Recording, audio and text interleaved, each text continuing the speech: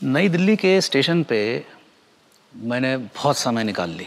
तो रेल डिब्बे के टॉयलेट में ऐसी जगह है जहाँ धरती पर कोई और नहीं झांकता। सफ़ाई के लिए भी नहीं आते।